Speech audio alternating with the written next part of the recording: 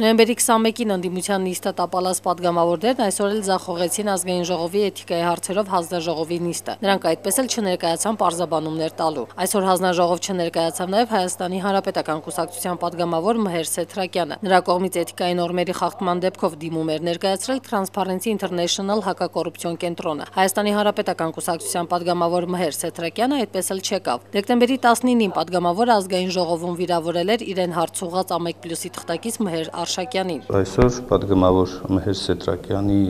համար նախատեսված է ժամ, որտեղ հանձնաժողովը պետք է հանդիպի, եթե падգամավորը ցանկություն ունենա ներկայանալ եւ տալ բացատրություններ։ Մհեր Սետրակյանի չներկայանալը փորձեց բացատրել նրա կուսակից Հովանես Սահակյանը։ Պատգամավորը ինքն է որոշում գալիս է թե չի գալիս, որևէ խախտում այստեղ գոյություն չունի։ Իդեպ հանձնաժողովը այսօրվա նիստին չեր հրավիրել լրագրող Մհեր Արշակյանին։ Պարոն Մհեր Արշակյանն նույնպես կհրավիրվի հանձնաժողով եւ բնականաբար իր բացատրությունները կամ իր հավելյալ պնդումները կներկայացնի հանձնաժողովը, որպեսզի կարողանա